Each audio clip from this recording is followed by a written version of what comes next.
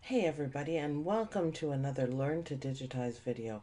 I am Sue from OML Embroidery and OML Digitizing and today we are working in Hatch embroidery software and we are talking about part two of Break Apart and its different uses. It's really a brilliant tool. So let's start off with making a new file so we can work on things. So let's do new blank design or control N on the keyboard. I'm just going to click on it because I use mouse or pen.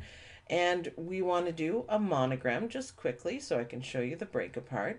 So we go to the toolbox, which is one of my favorite places to be, lettering and monogramming and click on monogramming and it automatically opens up all of your options. I've done a quick tip video on monogramming, so if you don't know what I'm doing, you might want to go back and take a quick look at that.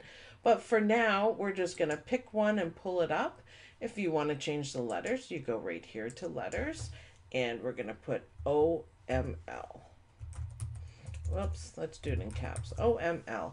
There you go. Beautiful. That looks good. I don't really like the colors, but they're showing up well enough, so we're just going to leave them. Now, what would happen if you wanted to move this? This whole monogram is one piece. Yes, you can change the letters. Yes, you can go to the ornaments and change them in the borders. But what if you wanted to change some of the elements in here? And if you look, uh, I would think, you know, first thing, maybe group or ungroup to ungroup the whole thing. But if you notice, they're not lit up, so they're grayed out and you can't use them.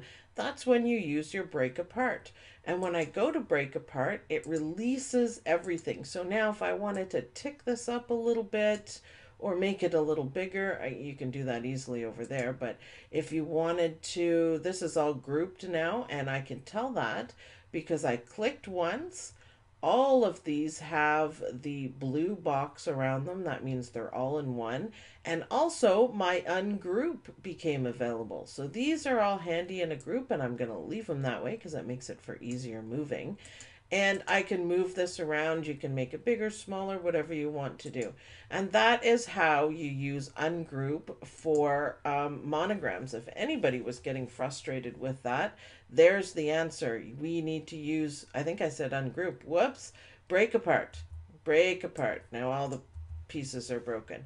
So there's quite a few uses for break apart, but another one is for applique. So let's do a quick bit of applique. So we click on the toolbox for applique and nothing else is available. You notice the break apart is also here.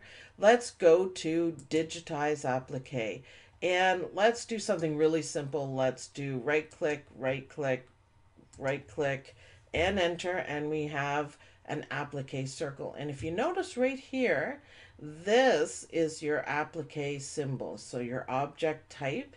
And I love it that it's so large and you can see exactly what it is.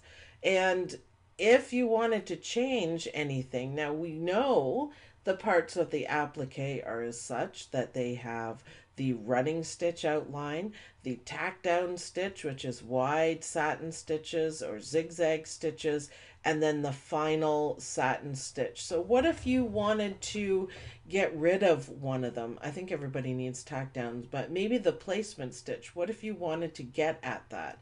Then you go to the break apart and you click on it and here are all your components. That's the zigzag and I can pull it out so you can see it.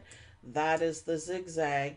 This is the satin or the sorry the running stitch and there you have all three of your components if you want to make any kind of adjustments or change the colors or if you just want to see where they are whatever you need break apart is the tool for you. So why don't we just uh, delete it? There's other ways of doing it, but if you wanted to do something in there and it's all in one, that is how you do it. There's a lot of other things that are involved with the applique, but um, that is, we're just talking about break apart today.